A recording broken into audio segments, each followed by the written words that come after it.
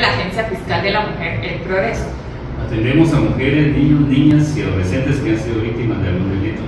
Estamos ubicados en Barrio Porvenir, municipio de Guastatoya, Departamento del Progreso. Atendemos de lunes a viernes de 8 a 16 horas.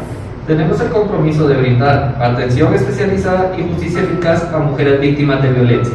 Se le hace un llamado a toda la población, especialmente a todas las mujeres para que denuncien en cualquier sede del Ministerio Público. Se pueden abocar a las agencias fiscales de los municipios del Jícaro, San Cristóbal a Casabuestrán, San Agustín a Casabuestrán, Morazán, San Antonio La Paz, San Sare y San Aral del Progreso.